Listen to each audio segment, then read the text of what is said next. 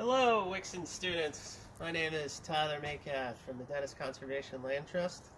I'm the Outreach and Stewardship Coordinator with the Land Trust, and uh, we are a non-profit conservation land trust. We protect land around the town of Dennis for future generations to enjoy, and all of us right now as well.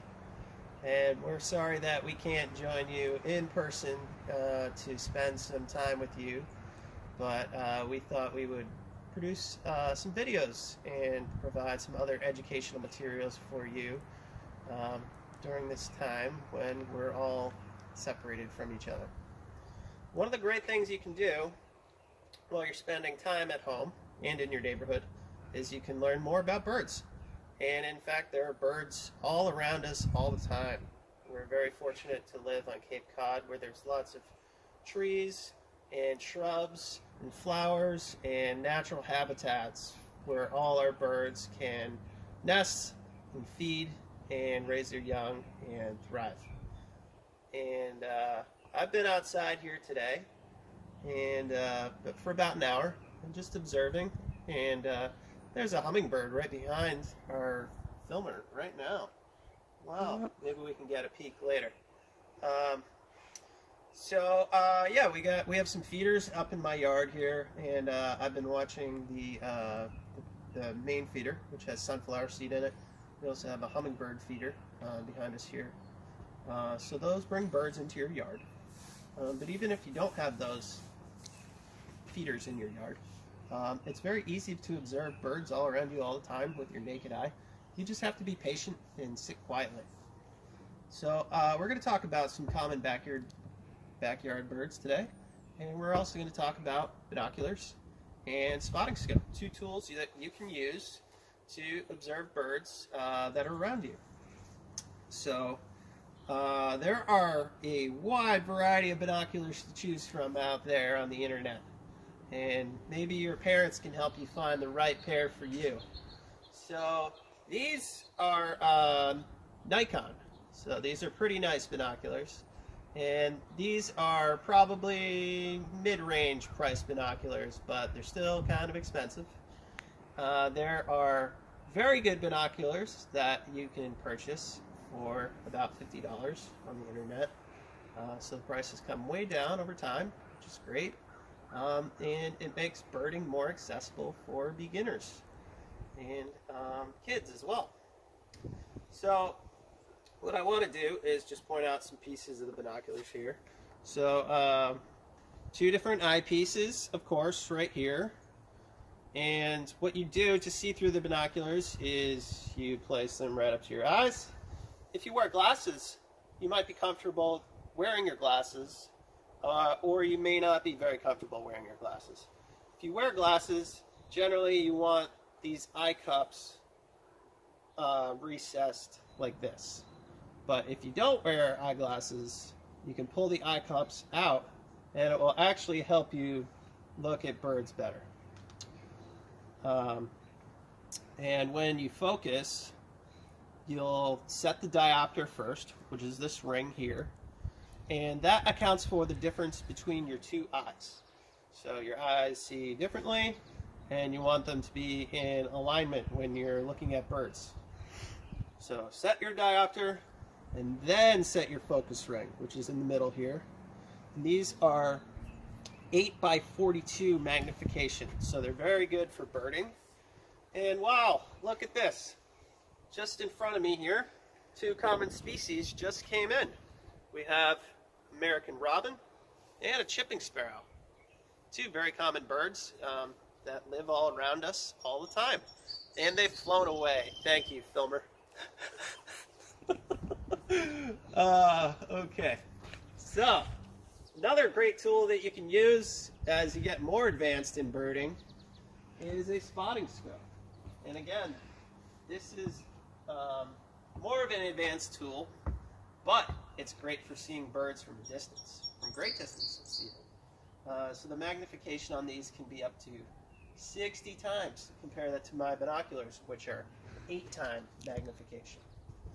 So um, I have a special tool on here right now, and wow, Look out there. There's a red-tailed hawk just flying over our neighbor's house.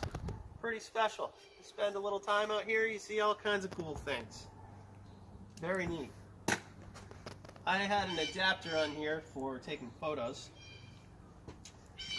Uh, so the thing about a spotting scope is it has much more powerful magnification, but it's used much in the same way as binoculars. Only you don't have a diopter, so you don't need to account for the difference between your two eyes.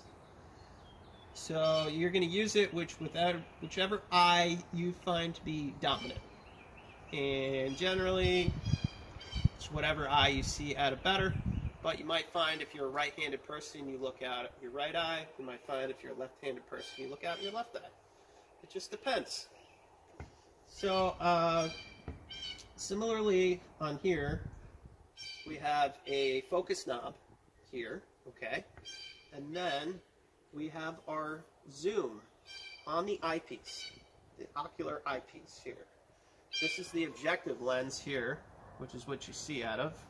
This is our lens cap to protect it when we're not using it. And this is our tripod. So these are two separate pieces of equipment. The tripod attaches to the spotting scope via the tripod head here, or plate. Uh, so if you have a spotting scope, you need a tripod to steady it because it's very difficult to kind of use it in your hand. Binoculars are better for your hands.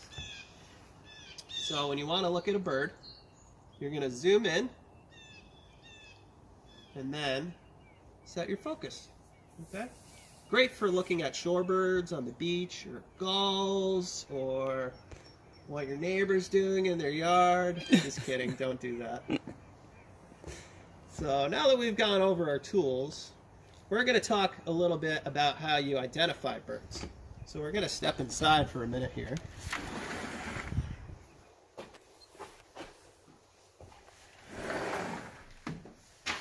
And notice, look at all these cool field guides that I have accumulated over time.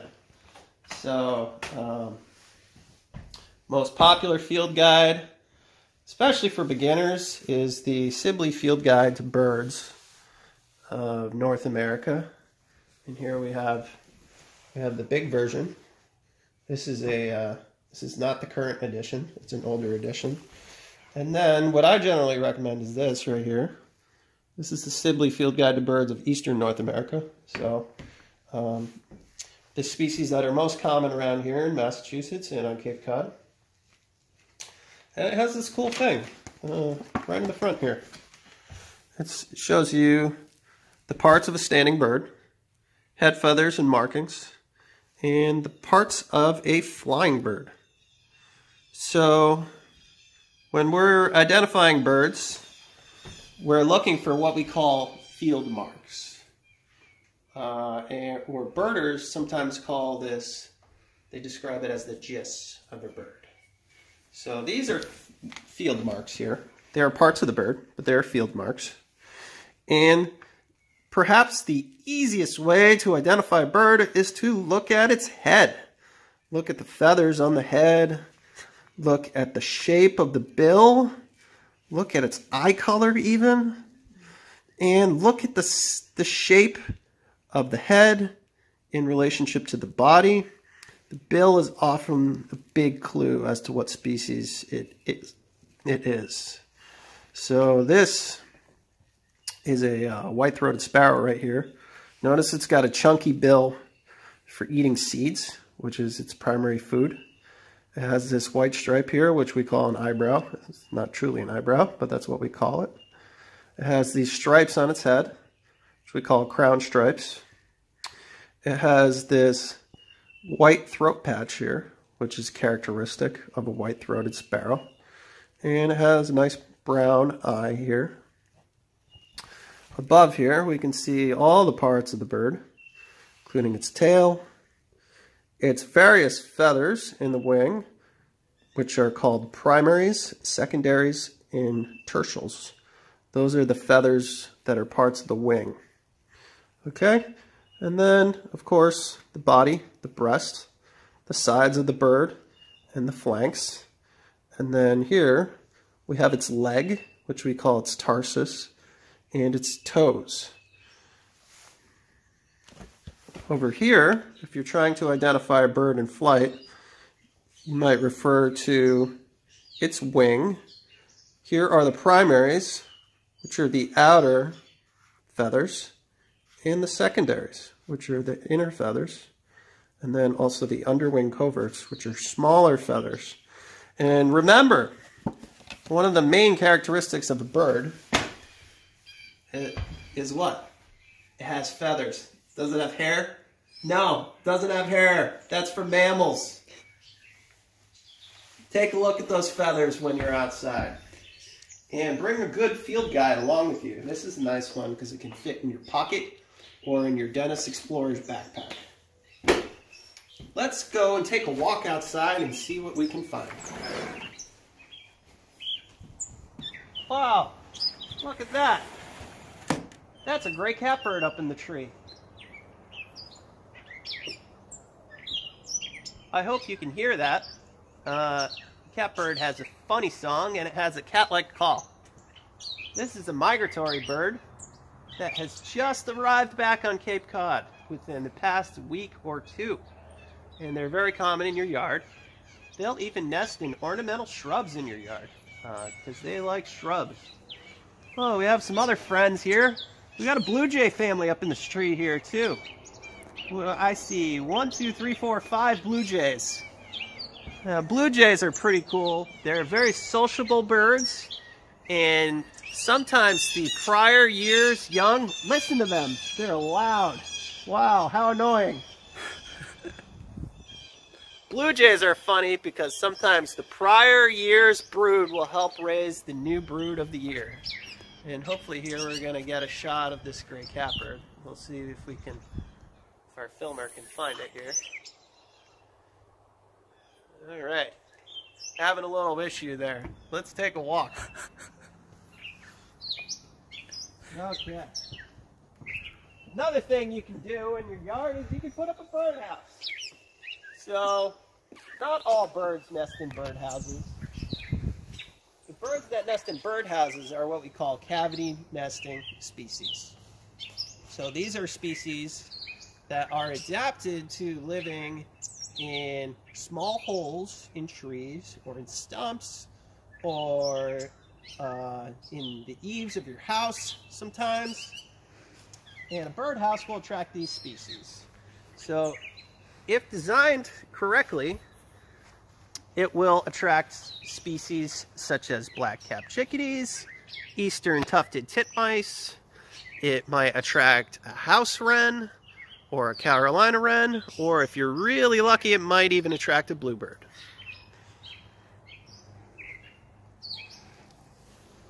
And it's very important to pay attention to the size of the hole when you're either purchasing or constructing a bird box or a bird a nest box.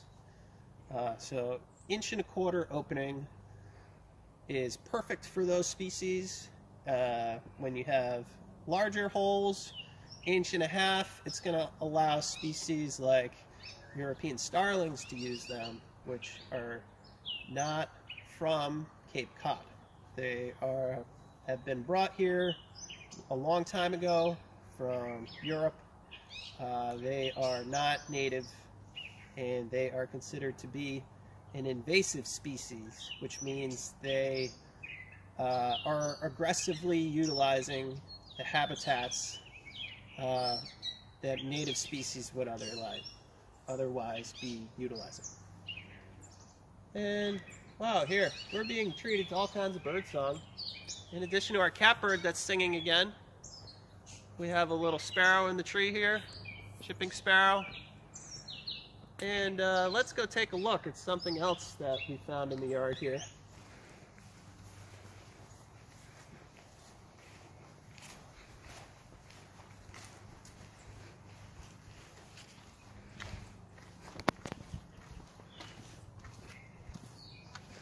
Sometimes if you're very lucky, you can follow a bird around your yard and you might be able to find where they're nesting. So a thing to look for when you're watching birds is to see if it's carrying food or nesting material. If it's got food in its mouth, it could be either feeding its mate or it could be feeding its young. And if it has nesting material, it's going to bring it to the nest that it's building.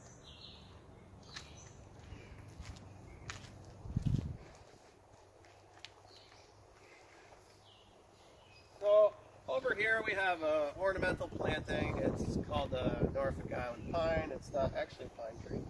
It's uh, not a native species, but we happen to notice something that was kind of cool here. Take a look at that. Wow. So that is a nest that's made out of grassy material. When you find a nest, you want to be very careful to not disturb the birds that are nesting there or to give away its location to a potential predator. So, if you find a nest, note where it is quickly and don't linger very long. Make sure that there are not crows around as you're observing the nest because crows will eat uh, the young of birds as well as eggs. In this case, uh, this nest is from last year, so it's been abandoned. When you find a nest, if you don't see the adults and you're trying to figure out what it is, take a note of the color of the eggs, the type of nest material, write it all down, and go inside and go on the internet or check your field guides or even send uh, your teacher an email and perhaps they could help you identify. In this case, uh, we found that this is a song sparrow nest, which is a very common uh, species in Dennis and all throughout Cape Cod, and it's a resident species. So it's going to be nesting low in uh, bushes in nests made out of grass and leaves and such. So let's take another walk inside.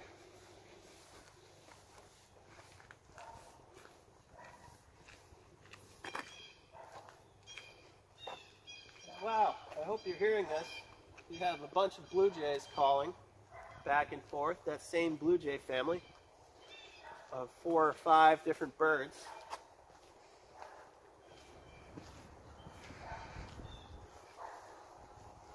Let's also check out some of the native bushes that we have in the yard and trees.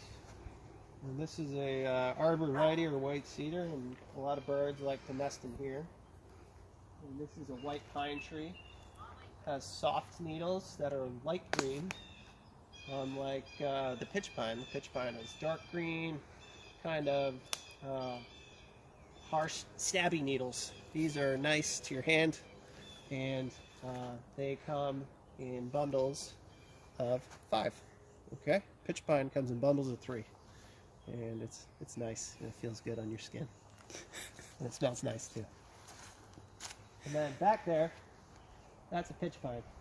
Okay, it's dark. It's darker green needles in bundles of three. Then standing here, I just heard a uh, chickadee calling, and it's kind of amazing the number of species that you can find just in your own neighborhood. Well, I wanted to show you this.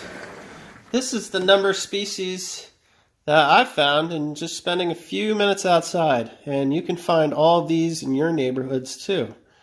Uh, feeder might help you find some of them. Um, and learning birdsong, which we might talk about in our next video, is another great way to learn to identify birds. But I wanted to show you um, pictures of some of these birds so you can begin to get familiar with them.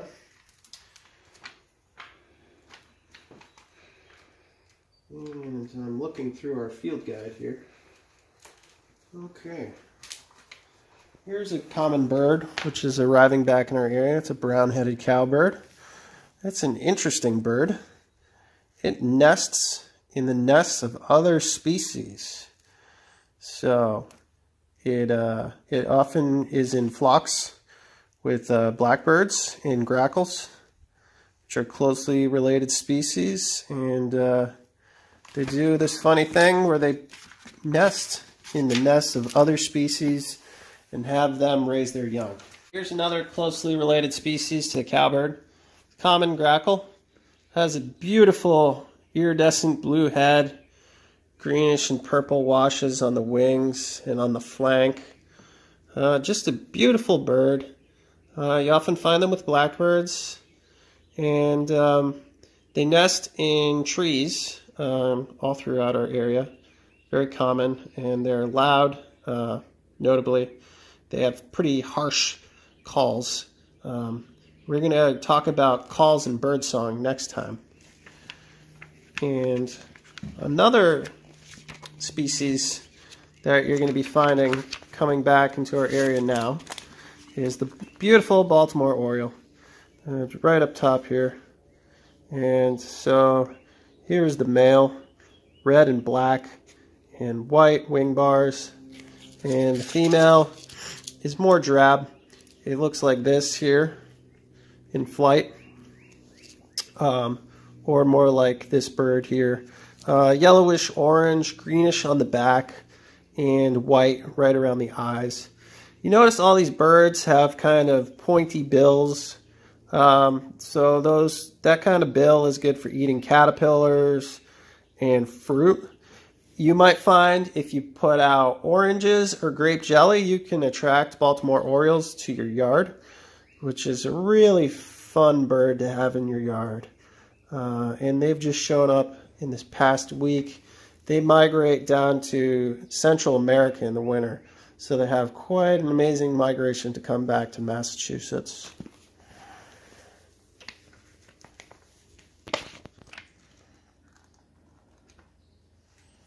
All right.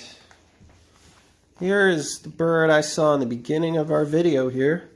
Ruby-throated hummingbird. Beautiful hummingbird. Very small species. They weigh 0.1 ounces. Wow. Truly amazing.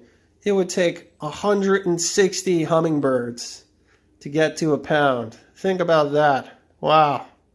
One pound, 160 hummingbirds. So we see them at flowers and we see them at hummingbird feeders. The male is the guy with the beautiful ruby red throat. The female, she does not have a red throat. She has a white throat. So um, they're starting to nest and they nest up in the trees. They have a nest that hangs down from the branches. Very small bird, flies very, very fast. Their wings are beating very, very fast. And um, you can draw them in with hummingbird feeders. Um, and with hummingbird feeders, it's very important to not feed them red colored dye uh, because those red, those uh, sugar waters with the red dye in them, the red dye is bad for the birds. Um, it can be toxic in very large doses. What you should do is do something that's even cheaper, which is make your own sugar water one part sugar to four parts water and you can make it on the stove or in the microwave. Ask an adult to do it with you um, before you do that on your own. Um, it keeps well in the fridge. Make sure you use refined sugar. Brown sugar is not good. Honey is not good. Raw sugar is not good. What you want is white table sugar for making that uh, concoction for your hummingbirds. And there are a variety of DIY hummingbird uh, feeders that you can make at home, and uh, I will share that link with you. So be well, enjoy the birds out there, and uh, we'll talk to you next time.